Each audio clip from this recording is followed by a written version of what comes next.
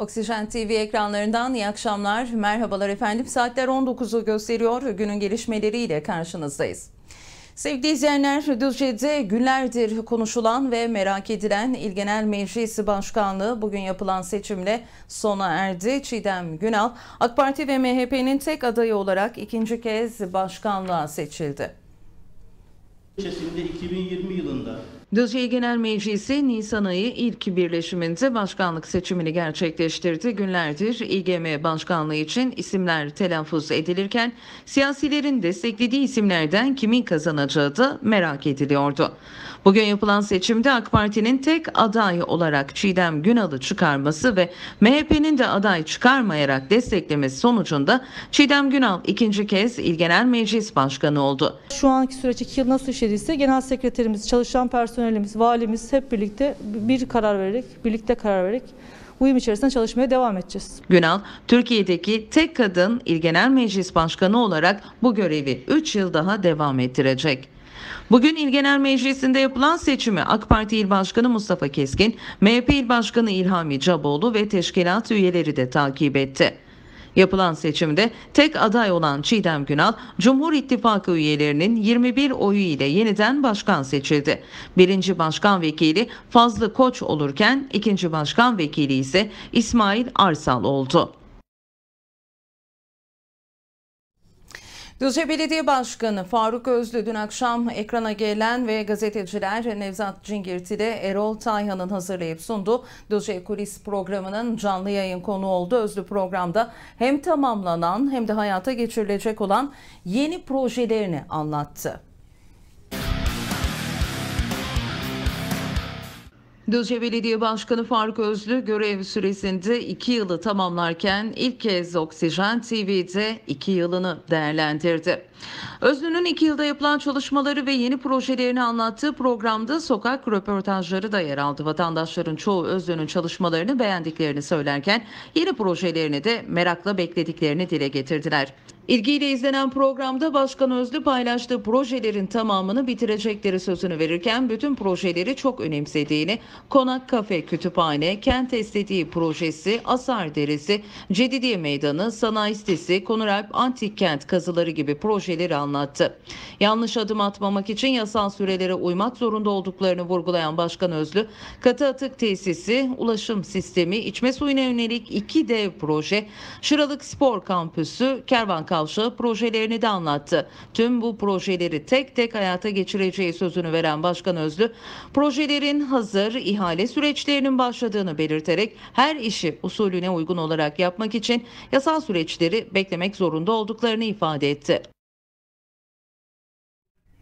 Milliyetçi Hareket Partisi Düzce Milletvekili Ümit Yılmaz hafta sonu pazarların kapatılmasını ve pazarcı esnafının mağduriyetini meclise taşıdı. Yılmaz, zincir marketlere sağlanan imkanın pazarcılara en azından gıda sektöründe faaliyet gösterenlere sağlanması gerektiğini vurguladı. Sokağa çıkma yasağıyla beraber pazarcıların hafta sonu pazarlarda faaliyet göstermesi yasaklanmıştır. Ancak zincir marketlerde bu yasak uygulanmayarak halkın gıda, gıda ihtiyaçlarını sağlanması yönünde eski uygulamaya geri dönülmüştür. Pandemi döneminde zor günler geçiren pazarcı esnafı bu kararla beraber artık nefes alamaz hale gelecektir. Zincir marketlere sağlanan imkan pazarcılardan en azından gıda sektöründe faaliyet gösterenlere de sağlanmalıdır. Pazarların açılmasıyla Ramazan ayı dolayısıyla gıda faaliyeti fiyatlarında fahiş oranda artmanın önüne geçilecektir. Böylece pazarcı esnafımızın işlerine devam etmesine imkan sağlanacak ve marketlerde marketlerle yaşadıkları haksız rekabetin bir nebze olsun önüne geçilecektir. Ve son günlerde sosyal medyada rastlanan bir çağrı dikkat çekti. Pazar yerlerimiz Ramazan ayı boyunca cumartesi ve pazar yine kapandı diyerek paylaşımda bulunan esnaflar marketlerin açık olmasını haksız rekabet olarak nitelendiriyorlar. Koronavirüs salgınında Düzce'deki durum ciddiyetini korumayı sürdürürken ekonominin nabzının attığı pazar yerleri de durgunluktan payını almış durumda. Hafta sonu sokağa çıkma yasakları nedeniyle olan durumda cumartesi pazar günü kurulan pazarlar kapanmak zorunda kaldı. Pandemi nedeniyle önceki döneme göre daha az sayıda pazar tezgahı kurulurken pazar yerlerinde alışageldik kalabalık görüntüler de yok. Pazarcılar yasaklar nedeniyle çalışan yurttaşların hafta içi pazara gelemediklerini akşam 18.30'da tezgahlarını kapatmak zorunda kalmaları nedeniyle akşam alışverişinin de mümkün olmadığını söylüyorlar. İşlerinin durumunu sorduğumuz pazarcıların tamamına yakını hafta sonu sokağa çıkma yasağında çalışamamaktan şikayetçi. Özellikle marketlere izin verilmesine rağmen açık pazar yerlerine izin verilmemesini haksız rekabet olarak görüyorlar. Pazarcı esnafı sesini duyurmak için sosyal medyada paylaşımda bulunmaya başladı. Pazar yerlerimiz Ramazan ayı boyunca cumartesi ve pazar yine kapandı diyerek şikayetlerini dile getiren esnaflar Covid-19 nedeniyle gerçekten önlem alınacaksa marketlere alışveriş merkezlerine mükafat vererek değil kapanacaksak topyekün cumartesi pazar kapanalım. Bir kesimin ekmeğine yağ sürüp diğer tarafta vatandaşın ayağına hizmet götüren pazarcı esnafını ekmeğe muhtaç etmeyelim. Mübarek Ramazan ayı boyunca ve bayram alışverişinde vatandaşı bazı fırsatçı, aracı, art niyetli gruplara yem etmeyelim. Sesimizi duyun. Rekabet ortamında bol alternatif ve kalite vardır, ucuzluk vardır. Kapatmayın pazarları ifadeleriyle yaşadıkları mağduriyeti anlattılar. Sevgili izleyenler, heyelan ve buna bağlı çökme nedeniyle iki yönlü trafiğe kapatılan Batı Karadeniz bağlantı yolunda çalışmalar yağmur nedeniyle yavaşladı. Yolun son durumunu ve yapılan çalışmaları haber ekibimiz bugün yerinde görüntüledi. Düzce ile Zonguldak arasında ulaşımı sağlandığı karayolunun Düzce istikameti Çiçekpınar Köyü mevkiinde heyelan nedeniyle ulaşıma kapanmasının ardından karayolları ekiplerince çalışmalar devam ederken yolun son durumunu bugün Oksijen TV Genel Yayın Yönetmeni Nevzat Cingir yerinde inceledi ve son durumu paylaştı.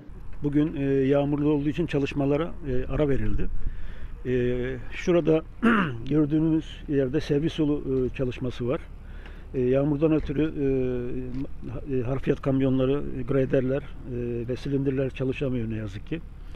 E, birkaç gün önce yapılan açıklamada e, Cuma ya da Cumartesi günü e, asfalt e, dökümü e, yapılacağı söylenmişti ama e, hava muhalefeti nedeniyle çalışmalara ekipler ara vermişler.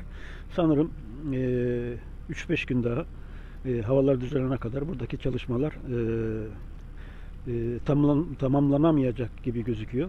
Düzce'yi, metropol şehirleri İstanbul, Ankara'yı, Akçakoca, Alaplı, Ereğli, Zonguldak e, bağlayan en önemli e, yol burası. Bir an önce e, yolun e, bitirilmesi e, gerekiyor.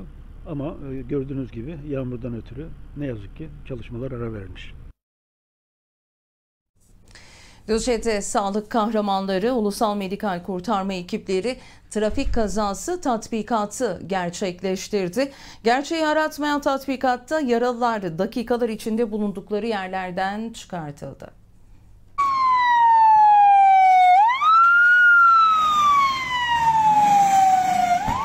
Her türlü afet durumunda yeterli ve nitelikli sağlık hizmeti sunan UMKE, Düzce'nin Mergiç mahallesinde trafik kazası tatbikatı gerçekleştirdi.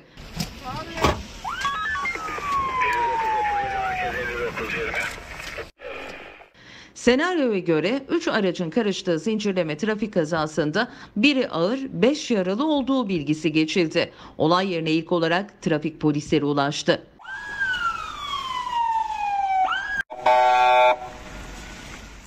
Daha sonra bölgeye UMKE ve 112 acil sağlık ekipleri sevk edildi.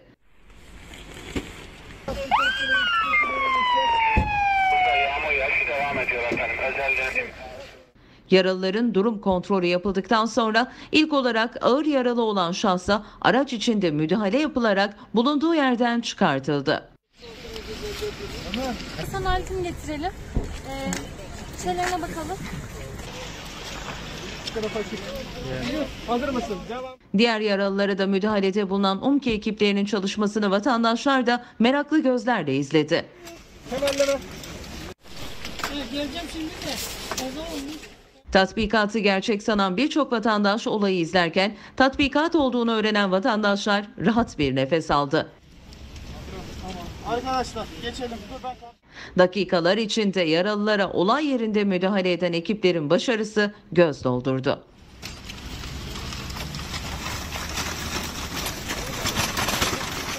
Konuyla ilgili bilgiler veren Düzce UMKE birim sorumlusu Ahmet İyi tatbikatlarına yıl boyunca devam edeceklerini söyledi. E, tatbikatımızda çoklu bir trafik kazası 3 araçtan oluşan e, 4 ve hatta 5 yaralı, 1 yeşil kod, 3 sarı kod, 1 kırmızı kodlu, triyaj kodlu e, yaralılarımız vardı.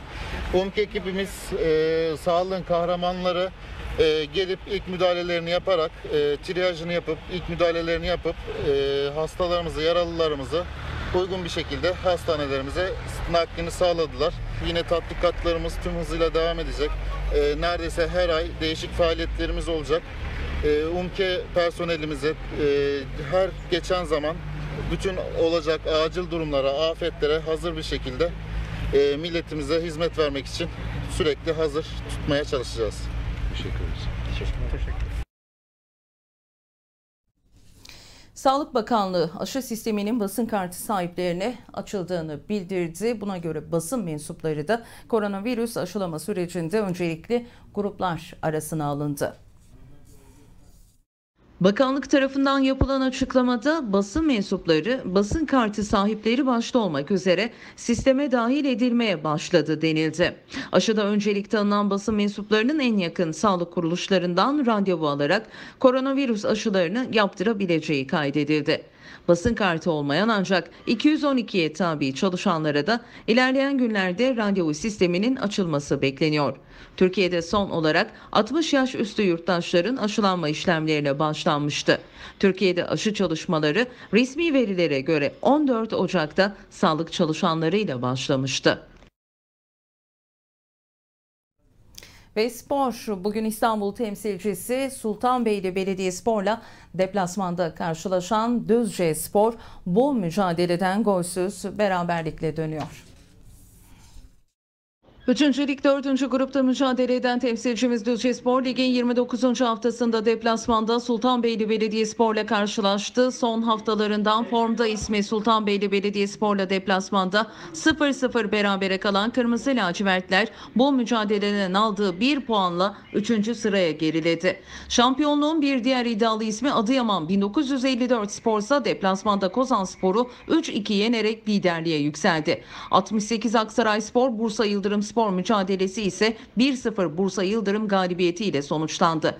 Ligde 29. hafta sonuçlarına göre lider Adıyaman 1954 Spor 50 puanla lider olurken Bursa Yıldırım Spor 49 puanla ikinci, Düzce Spor 49 puanla 3. sırada yer aldı.